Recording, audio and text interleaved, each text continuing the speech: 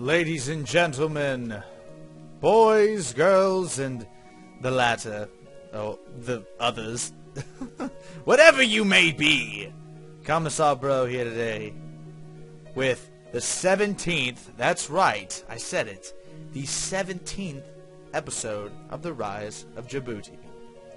As you know, when last we left off, we had conquered Canada, as well as some of the northern reaches there, yes.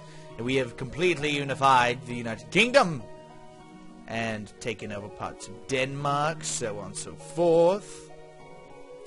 And now it seems there are few countries that can hold back the might of sweet, sweet, delicious Djibouti. That's right. That's right. Our amusement park shall spread as they have. Oh my goodness, I forgot about that little tiny bit of Norway. Hmm. What are we going to do about that? What do you think we should do about that, ladies and gentlemen? It's a delicious question, is it not? The question is, where are my navies? Well, here's my main navy. I'll probably actually go ahead and... Let's just go ahead and deal with this. Let's, let's go ahead and kick this one right in the butt, shall we? Let's see how big this particular group of units will be once we merge it together. Speed things up a tad bit, times four. Make sure we're not being attacked anywhere else in the world. Relatively speaking, we're not, which is good. Good, good, yes it is indeed. Let's see, advise warning politics. Yep, we have good chances of being elected. Of course we do! We're Djibouti! And I'm the commissar! They're not gonna kick me out of power anytime soon. That's right. They love me. They love me. Because they know. They know that Djibouti would not be the same under another ruler.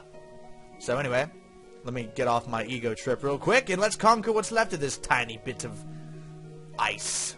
This is basically one gigantic iceberg as far as I'm concerned. Yes, yes! And it's just artillery piece protecting it. Alright, well, we have conquered this from Norway, so let's go ahead and take it over from them. Annex that. We will let that go through. In the meantime, let us stew upon who is next in our attack. Let's see. Canada. We're still annexing Canada. Let's send our boats over somewhere else. I'm thinking that it might just be time to bring down what's left of the mighty United States. As you can see, they're down to 18 units compared to Djibouti's literally thousands, thousands upon thousands of equipment, men, and airplanes. And I actually need to rebuild my Air Force. Ooh, it's so paltry. We're going to build some of my cheaper ones just so we can pump them out quickly. Come on, get me some shake and bakes. There we go, we'll get a couple of those. I'm not going to build the Bronator because it's way, way too powerful for what we need it for, but we will build some more deck rakes, and we will build some decimations. Wow, look at that. Canada brought in a huge influx of resources. That was not a bad decision to take them over. Wow, that's a lot of money we're bringing in now. Let's look at what our per capita is. 32,400. That's really good. The uh, the Djiboutian population, considering it consists of, oh, I don't know, 2.5 roughly billion people, and each one basically makes $32,000 a year, that's actually really good in, in the overall scheme of things. You know, I mean, I mean, I wouldn't be upset if that average at all, if that was a real life average for 2.5% of the world's population, because I'm pretty sure it's not. But anyway, let us stop dilly-dallying. Let the conquering of the United States begin.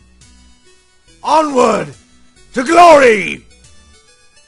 Yes, yes, over the border. Oh no, the Americans have attacked a bit of Canada. Bring their army down to its knees. It's 18 infantry vehicles. oh, well, that was easy enough. All right, move on to the United States. We start from the north. We come like a raging tide and occupy all in our path. it's kind of, you know, um, while I'm not complaining, it's kind of sad when the game gets to this point because it's literally turns into you conquering and annexing everything. So let's go ahead and move into Mexico. Why not? Let's just do it. Let's just do it, man. Just deal with this problem. take care of what's left of the Mexican army, even if they have an army. Well, they do. They got 80,000 infantrymen that are about to get wiped off the face of the planet. yes, yes. That is right. Oh, we'll let them do that. And let's go ahead and look at what else in this beautiful world is begging to be Djiboutized. Djiboutized? Is that is that what we're gonna call it? Djiboutized? Djiboutian Nation? I don't know. I'm not very I'm not very good with names. I'm really not. if it hasn't become like obviously clear at this point in time, I am not much of a namer of places and things. Bam, we're gonna annex Mexico as well. And since we know Mali is glitched, let's just see what happens. You know, I've tried this before and it didn't fix the issue, but let's see what happens when we toss a couple military grade nukes at these people. See, all it's gonna take is two missiles. Sure, fuck it. Fire! Fire the missiles! Again! Uh, two nukes! Yeah, see, no, that didn't work. Oh, for shame, for shame. It was worth a shot. We didn't get nuked in return, did we? No, we didn't. Good. My approval rating, rating went down considerably. Oh my. Whatever. I don't care! I care so little! Care so incredibly little.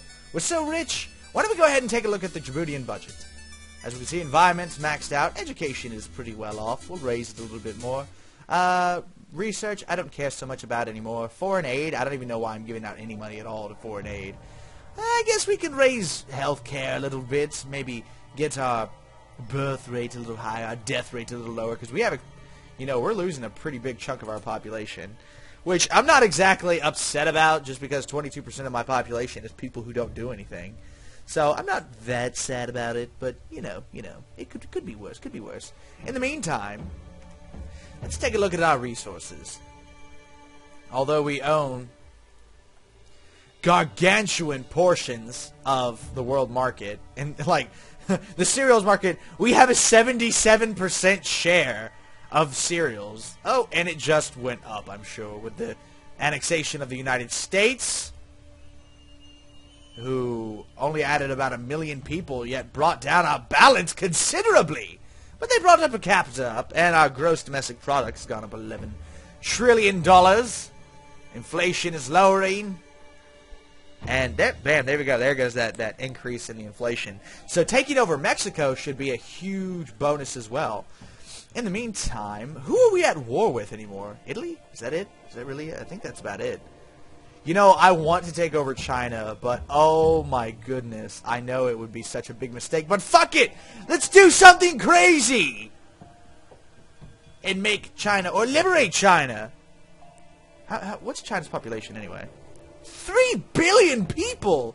Oh, they've definitely not been, you know... their lack of money has not destroyed their reproductive organs at all, clearly. Yes, yes, keep conquering. Conquer more. We will liberate this country of China. And also, let's get our navy over there, and let's do some touch-up here in Europe. And go ahead and take these little bits that Italy seemed to hold on to. Move! Move. You can't, I, I, I don't want to do occupy territory because then I would declare war on China, which I don't want to do. So I'm just going to keep, you know, trailblazing as it were, trailblazing, blazing across China, the grand country of... Oh, looks like the Italians still have some soldiers left. Or not. They were here, now they're gone. Whatever. We're just going to liberate portions of China and see what happens. See, doing this, as we can see, this is allowing China to rebuild its completely decimated economy.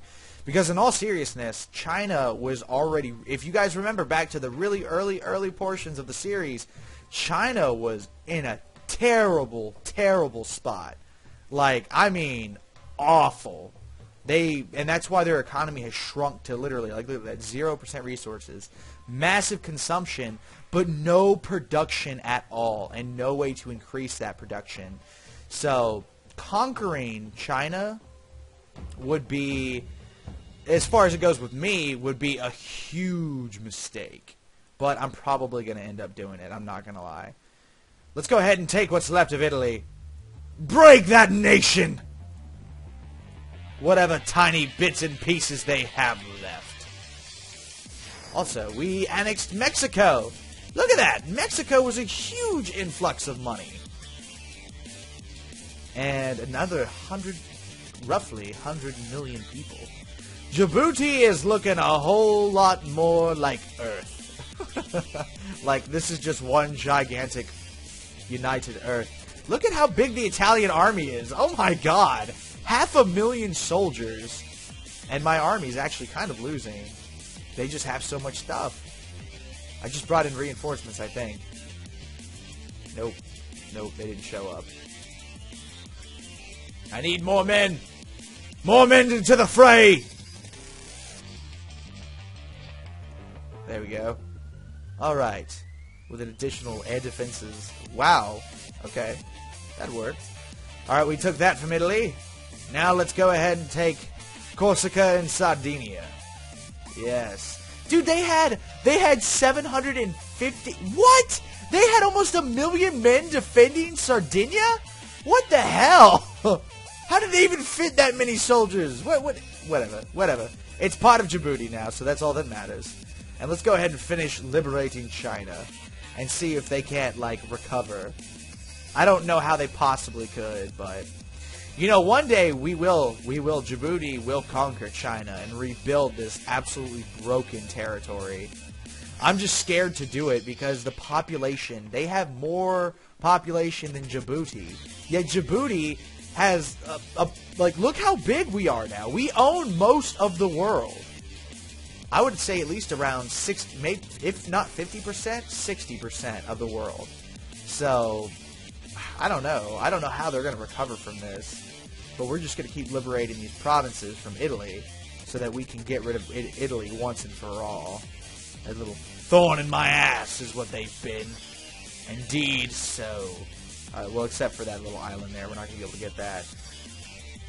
But, that is appalling. Do you see that? Per capita, zero. Their total gross domestic product is $612. Do you realize a country of 3.3 billion people only has a gross domestic product of 612? That is absolutely ridiculous. That may oh my oh my god. They wow, it must be like Blade Runner and that life in, in China. or or Mad Max. Because there is no way they can function at such a low like I, I I'm just I'm absolutely I'm astounded. There's no other way to put it. That is crazy. That is absolutely insane. Oh man. But anyway, so this has uh, been episode 17 of the Rise of Djibouti. And this is Djibouti as it's looking. We have now conquered the United States and Mexico. We have liberated China from the Italian overlords. And even we have taken over the last bits of the Italian Empire as well as wiped out Norway. We've tried nuking Mali and we saw how that went. It didn't go well at all. So I guess that's just one to chalk up to the, the drawing board. We'll figure that another day, right? anyway, this has been Commissar Bro. Like, subscribe, do your business. And if you have any questions, feel free to ask. I've been playing this game for years. I have a pretty good grasp on it. Anyway, you all have an amazing day.